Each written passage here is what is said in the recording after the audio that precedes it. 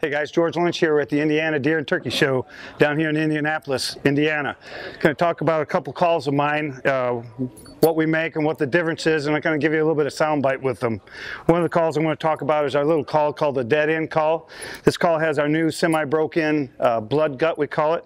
One of the best hunting guts that I've blown. It's an X-Factor gut that uh, took six months to break in. Uh, it's not a deep well broken gut, it's a semi-broken gut, so it's easy to run during hunting. You can get those different notes. It's got good on the transition. It's very smooth, yet it's not so deep broken that it takes a lot of air. So this is going to be the dead end. Like I said, it's got the speed, it's got the high pitch. We're going to give you a little sound bite here.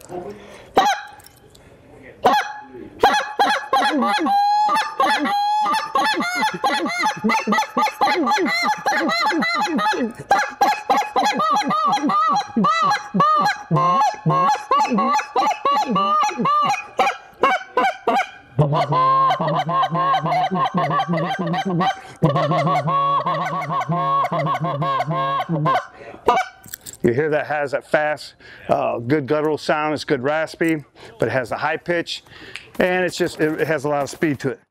And uh, one of the other new ones we're coming out with is uh, one of our flute style calls. It's a little bit different because it blows like a short reed. It's a little bit shorter than a lot of the uh, flutes out there. We shortened up the insert, we tightened the bore, and then the barrel, what we did with the barrels, we experimented, opened up, put a little bit what we call glodo, which is more of an opening around the guts to give a little more hollow system. Now we're going to pick this thing up it's going to operate pretty much the same as a short reed, but I'm going to open my throat a little bit more. By opening that throat, allowing more of the vocalization, voice inflection, and my air, changing my air quality, this call is going to have a little bit different sound. Like I said, again, this isn't a call that I'm going to use in long range calling, but it's that call that you know, I might get them in the long range with this, but finishing off that last 50 yards to get that shot, this call will be a little bit smoother, but it has more of that hollow goose. What?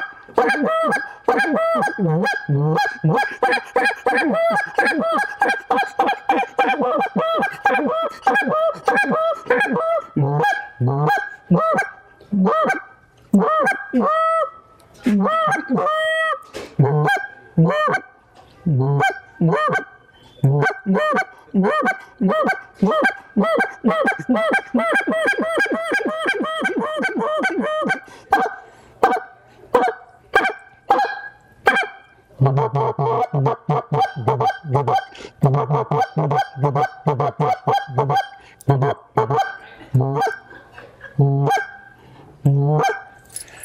hear it has a little bit more finesse to it, a little bit softer, but it has that good rasp and it open like a real goose has, and that cluck, and then the honk and then the moan. Both great calls, just different situations, both designed different, and uh, yet the end job is finishing that goose and putting the feet in your lap.